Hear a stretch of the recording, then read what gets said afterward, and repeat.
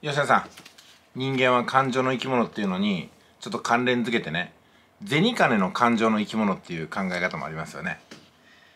いやなんかねこうしてくると本当に一つのキーワードから無限に切り取っていけるなというところでキリがないと思いますで、まあ、堀江さんの話またねぶり返してみたいなんで言いますけども堀江さんが「そんなこと聞いて意味あるんですか?」っていうふうに言われた時に堀江さんも僕に意味がないって言って何か意味あるんですか？僕みたいな小元にそう小物にねそうやって噛みついてきて。何か意味あるんですか？って。お前が意味がねえよ。お前が14万だよとか言ってみたら面白いですね。というふうになんかねすごく冷たい返しをされてもそこからねいろいろと広がっていくっていうのがこのやり取りの面白さでございますけども。さあそういうものとは関係なく今日は詐欺師の話をしようかと思います。詐欺師。シロアリ会社。某シロアリ会社ね。社名を言うといろいろとね名誉毀損とかになりますんで詐欺師。ミックス。ね。ヨニックス。ニニックス。その間かっていうような感じですけどもさあいかがでしょうか。本当にあの会社は詐欺なんでしょうか。これ何とも言えませんね。とりあえず今ね私が留守中にこのチラシが来たみたいなんですよ。で営業マンが歩いてうろうろ回ってとっても明るく元気な声でねこんにちはみたいな感じでやってると思います。まあ感じがいいんですよ。で、ここに書いてます。快適な暮らしと安心をって書いてますよね。じゃあね、ここの会社の従業員の皆さん、あなたの暮らしは快適ですか？あなたの将来は安心ですか？どうですか？給料十分もらってますか？休みは十分ありますか？今日は早起きして無理やり出てきたんじゃないでしょうね。ノルマに追われてませんか？こういった営業会社は上司むちゃくちゃパワハラするんじゃないですか？どこが快適な暮らしやん？どこが安心して働いとるんやねみたいなね。こんなツッコミもできるわけですよ。おでもなんかいいこと書いてますよ。最近のね営業マンはね自分のプロフィールをこう紙に貼ってまあ私もやりましたけども趣味はこうですとかね出身地はここですって書いてるんですよ。今日はじゃあね出身地でいきましょうか。出身地が書いてるんですけどもでも営業地区はその出身地から遠く離れた見知らぬ土地なんですよ。同じね都道府県内ではあるんですけども市区町村内ではあるんですけども。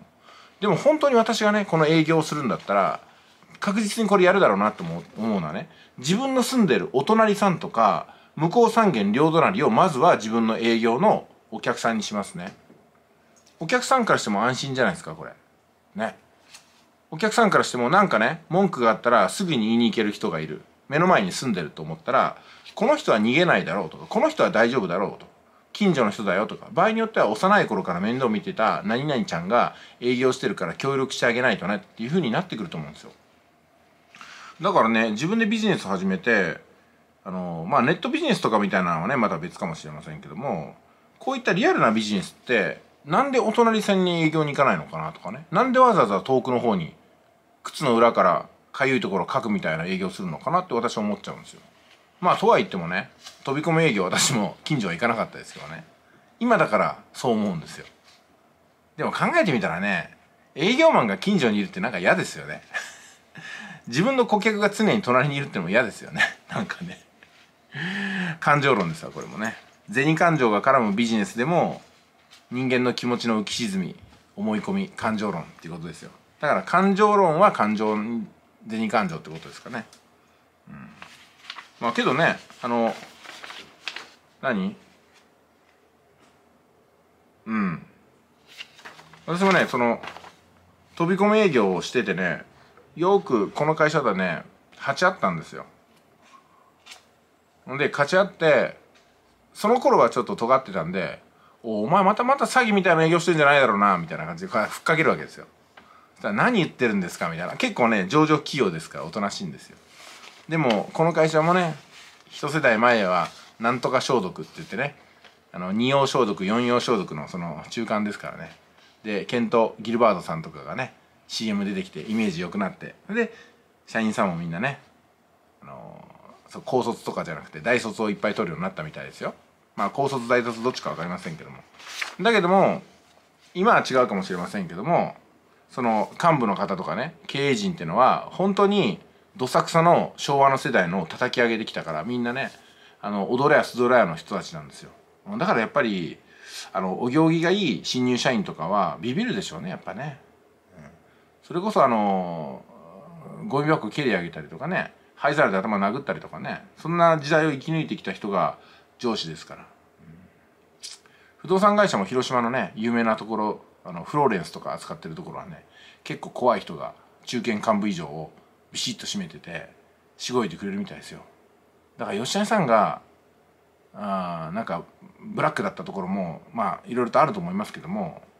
うんそうですね私も一部そうだったかもしれませんけども